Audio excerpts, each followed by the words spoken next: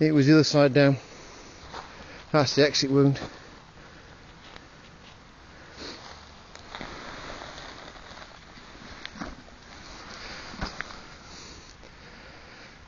There you go. Shooting down from above him there, wasn't it?